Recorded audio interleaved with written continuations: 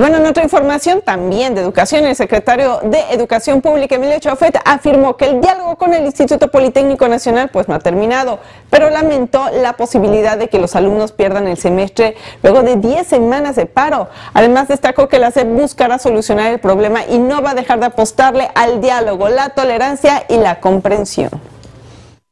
Corremos el riesgo de que eh, eh, el semestre se pierda no es en modo alguno ni eh, forma de eh, pues eh, intimidar ni cualquiera otra que se le, se le parezca. Es una realidad.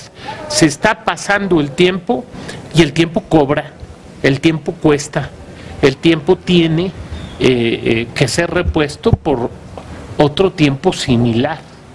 Y en ese sentido creo que vale la pena que eh, reanudemos lo más pronto posible el diálogo.